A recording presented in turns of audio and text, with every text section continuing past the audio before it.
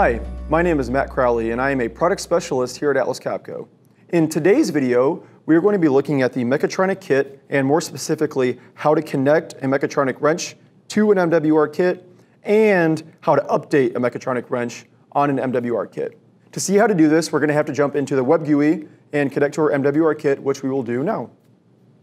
So to add a Mechatronic wrench and update a Mechatronic wrench on an MWR kit, we want to go into the web GUI and to access the web GUI of the MWR kit, we're going to want to click open our browser. In my case, I'm using Chrome, which I suggest you use as well if possible.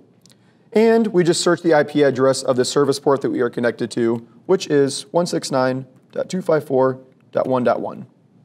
Once we hit enter, it will bring us here to the web GUI for the MWR kit. Now, the first thing we want to do is we wanted to add a wrench to our Mechatronics kit.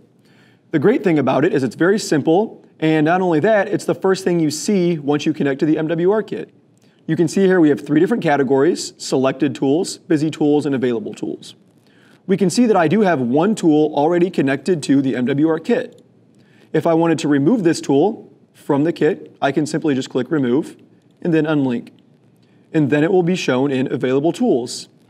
However, if I wanted to add a new tool, it would show up in available, and to add a new tool, all you have to do is click select, and that will bring it back up to selected tools, and now that tool is connected and ready to be updated.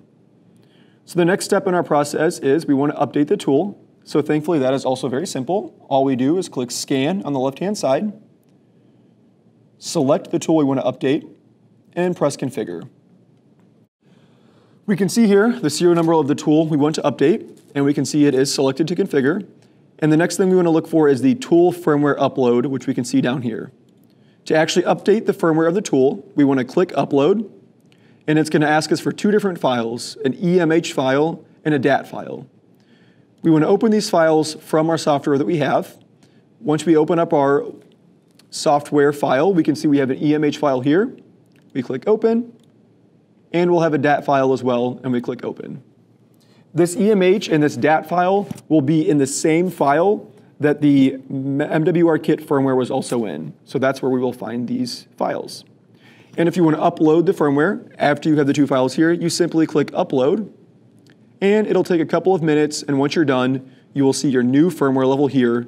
And in our case, we are on 441, which is the most up-to-date firmware available for the Mechatronic wrench. That concludes today's video of how to select and update a Mechatronic wrench on an MWR kit.